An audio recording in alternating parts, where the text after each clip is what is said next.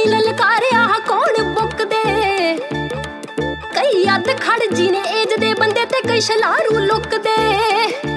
ਆ ਕਈ ਅੱਧ ਖੜ ਜੀ ਨੇ ਏਜ ਦੇ ਬੰਦੇ ਤੇ ਕਈ ਛਲਾਰੂ ਲੁੱਕਦੇ।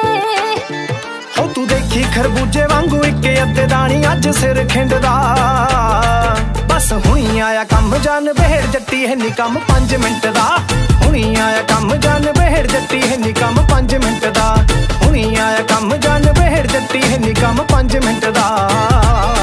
ਕਿੰਜ ਘਰ ਤੱਕ ਆਉਣ ਦੀ ਜੁਰਤ ਪੈ ਗਈ ਨੀ ਵੱਡਿਆਂ ਦਲੇਰਾਂ ਦੀ। ਖੱਲ ਝਾੜਦਾ ਵੇਖੀ ਤੂੰ ਅੱਜ ਲਾਈਵ ਜੱਟੀਏ ਨੀ ਵੱਡਿਆਂ ਮੈਂ ਸ਼ਹਿਰਾਂ ਦੀ। ਓ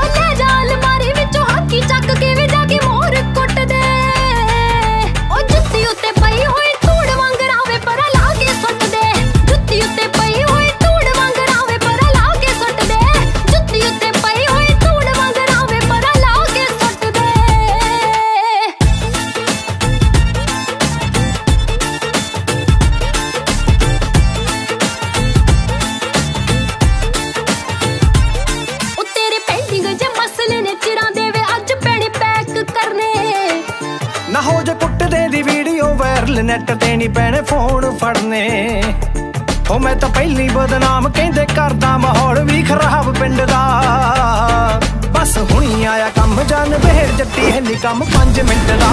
ਹੁਣੀ ਆਇਆ ਕੰਮ, ਜਾਨ ਬਹਿਰ ਜੱਟੀ ਹੈ ਨੀ ਕੰਮ 5 ਮਿੰਟ ਦਾ। ਹੁਣੀ ਆਇਆ ਕੰਮ, ਜਾਨ ਬਹਿੜ ਜੱਟੀ ਹੈ ਨੀ 5 ਮਿੰਟ ਦਾ। ਨਿਕਲ ਅਮਰ ਪੁਆਰ ਮੈਨੂੰ ਦੇ ਗਿਆ ਸੀ, ਹਿੰਟ ਵੀਰ ਰਹੀ ਬਚ ਕੇ। ਵੇ ਅੱਜ ਗੋਡਿਆਂ